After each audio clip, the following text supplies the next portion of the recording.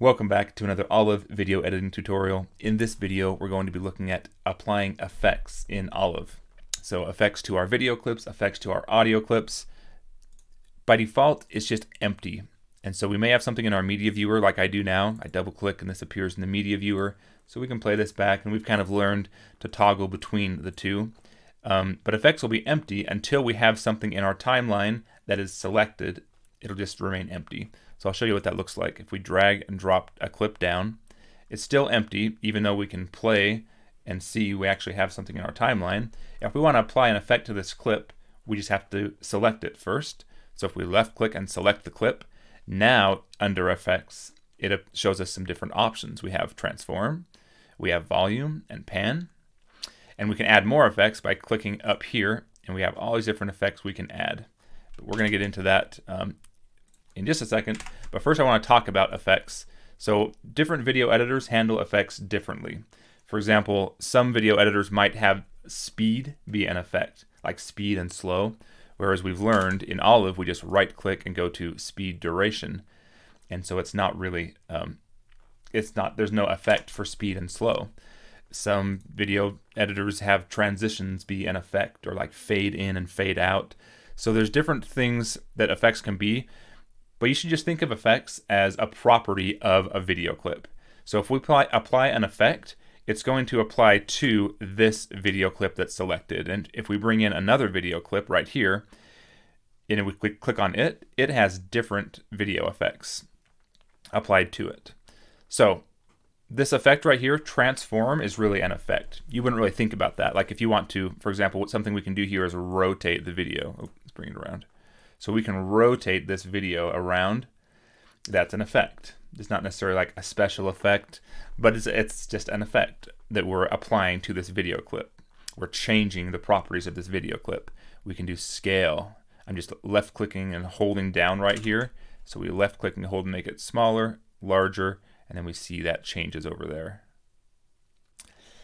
Um, we can also double click just like we did with the um, speed and slow and type in a value. So 100 takes it back to 100% of the size that it was. And if we want our rotation to go back to normal, we just go back to zero for that. So we can double click and change it that way. But if we left click and hold and go one way or the other, we can change like the position. And so this is how you would, if you want to do like a video in video, since we've learned before that wherever the playhead is, it plays the topmost video first and then in the background it plays the other video. So in the background this video will be playing and then at this portion of the video it'll be playing both at the same time. So when this is exactly where it was before, it's kind of eating up all the space or it's taking up all the video space.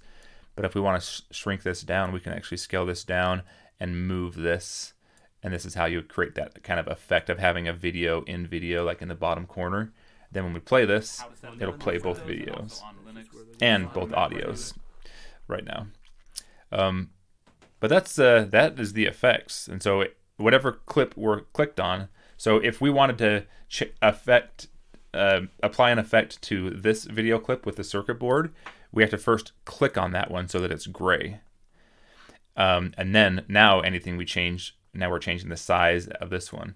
And we can also, once it's selected, you'll notice there's also some different um, things that appear in here um, that we can actually click on. I don't know why. We've, for some reason, we've got, we've got this one we can click on. I can't click on the back one. That might just be a, a glitch that they're working out in Olive. But anyway, you can also control by clicking around and we can change the size in here as well and the location in here without having to come in and change the actual numbers. Um, Audio effects are the same way. So uh, volume, we can affect the volume of this clip we have it selected on right now. I'm just going to delete, I guess I'll delete this one. So we can change the volume of this clip by going to volume and then we just change this. It's 0 dB decibels. That's kind of, there's no, um, we're not adding volume or taking away volume. But if we do this in the negative, it'll be much more quiet. And we can increase the volume. all my switches soldered in. I'm doing greens. So that's going to affect that. And then pan is left and right. I'll turn this up a little bit so you can hear. We have left ear and then right ear. And we can see the activity of that happening over here as well. Looks like maybe that was, re- yeah, that's got stereo. Anyway, um, we can apply different, we can add different effects too. And so in the next couple of videos, I'm going to specifically go into adding different effects. Um, you've got color correcting, color grading. You can do blur. We can do keying like chroma key, like green screen or blue screen, removing a background. Um, text, adding text to the video is an effect. Um, and stylize, just sort of changing the way that, that it looks. So go ahead and feel free to play with with some of these things in here, but um, we're going to cover those in some future videos. I think that's probably a good place to end, though. Just drawing your attention to the effects, and it just confuses people sometimes. Make sure you know that whatever video you're clicking on is the one that you're applying the effects to. And if by chance you have them both selected, so by holding down the shift and clicking on multiple clips, we can apply um, effects to both of them at the same time. Um, so now that th those have both been rotated. So if we move this out of the way, the one behind it is also rotated. Can you see that? So we've kind of done a kind of a weird thing here, but um, yeah, so whatever selected, including multiple clips together or multiple audio clips.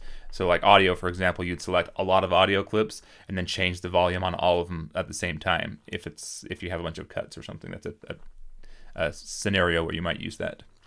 Anyway, play with video effects. In the next video, we'll dive into some specific ones uh, that you'll be using fairly often. Thanks for watching. Catch you in the next video.